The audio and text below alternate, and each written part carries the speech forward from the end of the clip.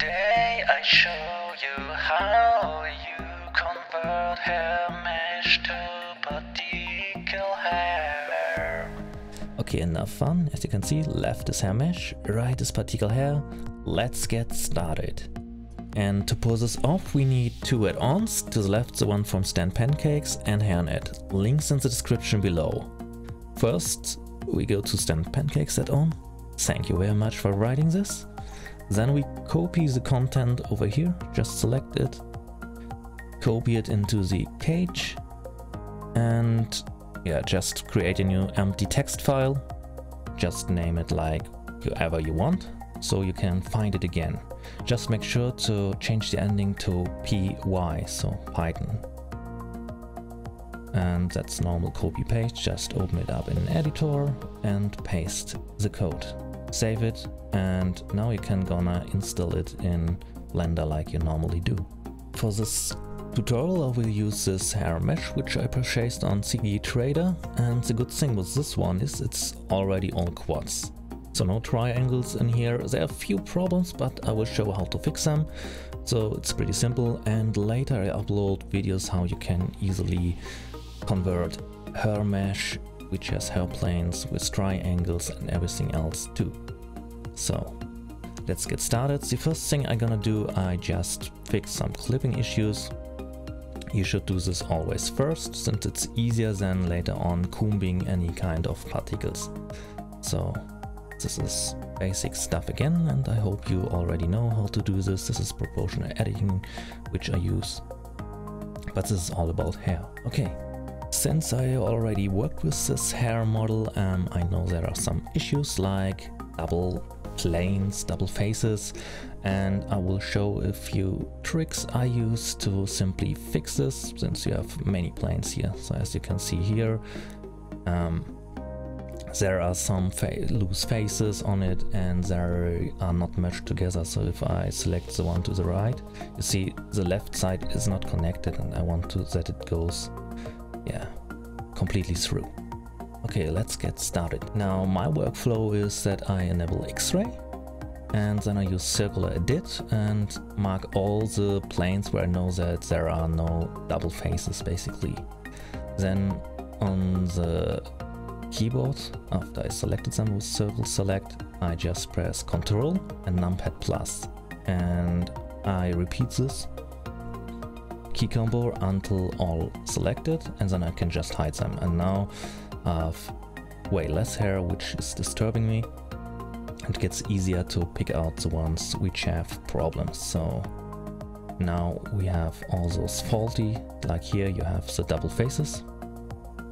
And how I fix it I go to vertices select use the circle select tool and yeah mark those vertices which are on the same spot press Ctrl numpad plus so I've get exactly both planes which are exactly inside of each other and they're fully selected, mesh, clean up and merge by distance. As you can see now it's fixed, no more double faces on this one and I can hide it.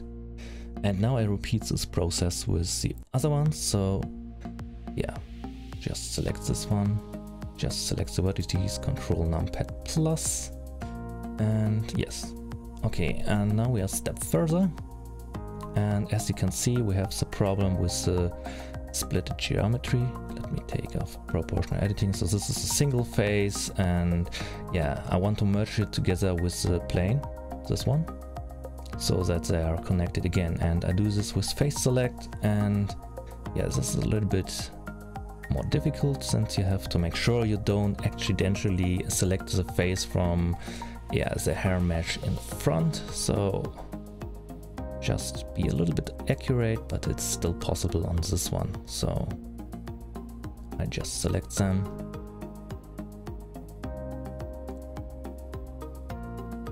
And what I do now, I just merge them again. So mesh, clean up and merge by distance. And if I press Shift plus N, I can recalculate the normals. If it looks weird, probably because the normals are broken. Okay, let's go to the next step. So if I select this one, again, as you can see, this is one plane now. And I repeat this process again, so this one is much easier, just circle select, mesh, clean up, merge by distance. So pretty easy to fix and now it's one single plane again and they are not splitted, which is very good.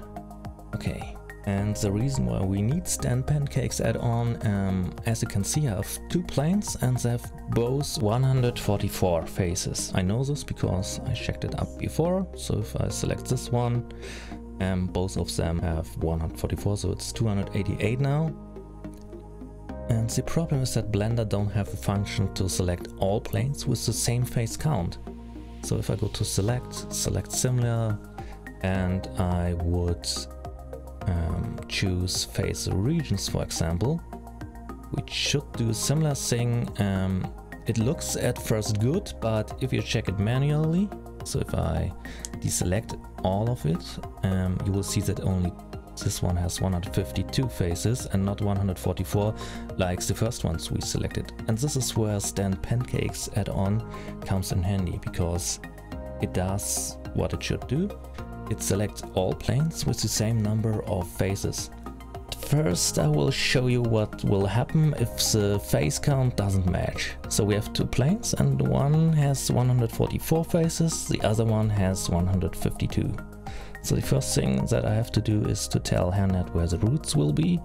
So I just select the outer edges of each plane. Then I right click and I will mark the seam here.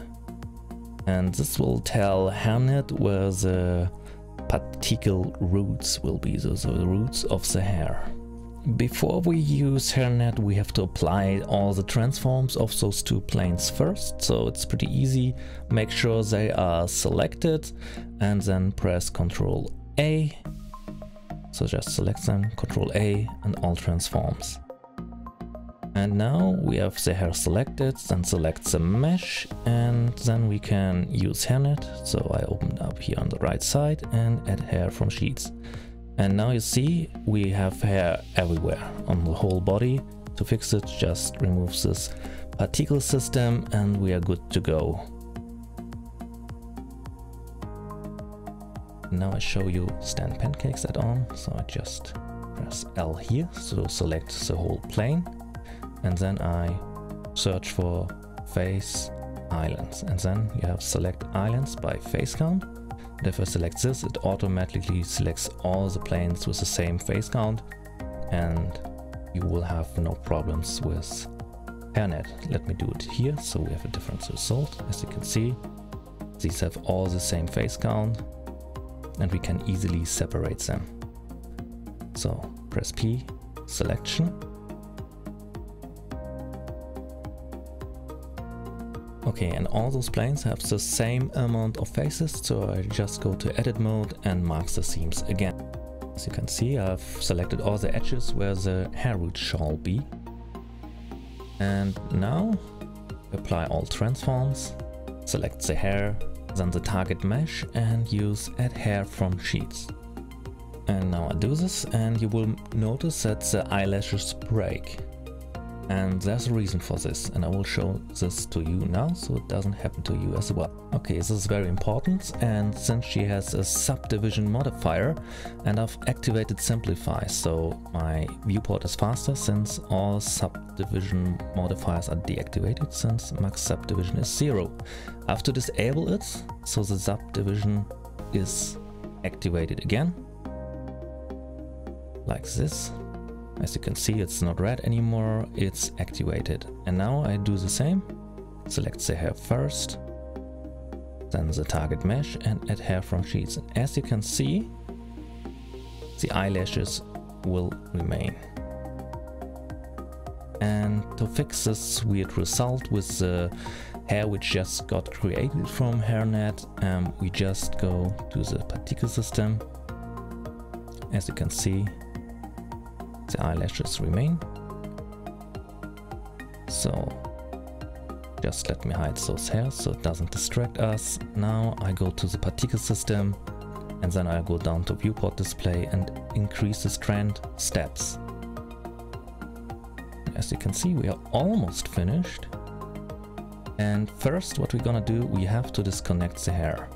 If we don't do that, and if I pose her now, as you can see, only a few hair strands move with her, but the rest is staying static. And to fix that, we have to do another thing. So, as you can see here, if I go back, um, only a few strands moved, but the rest not. So we have to disconnect the hair first. So let me go to object mode, back to the particle system, disconnect, connect, and Blender will automatically put the roots now onto her head. And this issue is fixed as well. And now we can start tweaking, so we can add more child particles, so we have a more dense hair. And we see actually how it would look roundabout in the render. We can change the radius, the roughness, everything. And that's basically it. Okay, let's proceed with the tips. Tip number one, um, I would always create a new collection and I call it her converted. I disable it for the render, so all the stuff I put inside won't get rendered. And I will put inside those hair planes which I separated. So to do this, and then I don't have to disable the render for by hand for every single plane. Just press M when you have selected it and just move it inside the hair converted. And now it won't get rendered and I can disable those for the viewport as well. Tip number two, and Stan Pancakes, huge thanks again, added another feature to that on and it can automatically separate all planes with the same face count automatically. So all you gotta do is press F3 and then you type separate and you see separate by face count. What it does, all the planes with the same face counts get separated. So now the whole hair model is separated and all the planes which have the same face count are still together. So you see these three planes, they have all the same face count. Exactly what we need to easily convert them with HairNet. So let me disable all of those to show you. And I select the face, 136 faces this plane has, and this plane has 136 as well, as well as this one. So they have all 136 faces. I already marked all those edges as seams, and now I just apply it, marks the head mesh, add hair from sheets, and now I it creates a second particle system, and now it's already done. And now we can do the same, just increase the strand steps for the viewport so we have a better, we can better imagine how it will later look like in the render. I can increase the display amount for example and since it's a second particle hair system it doesn't affect the first one so if I change the amount of the hair on the second one the first one stays unaffected. And now here I can just tweak the radius and everything else. Okay, okay, I hope this tutorial helps you if you use HairNet and easily want to, yeah, convert hair plane mesh into real particle hair. And I think it looks much better if you do that and yeah, the results speak for themselves. Thanks for watching and I hope this helped you. If you have questions, just ask them in the comments.